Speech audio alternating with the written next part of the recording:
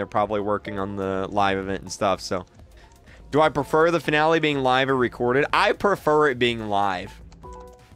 I, I think it's more fun for the viewers when it's live because it gives a sense of like, oh my god, this is happening right here, right now.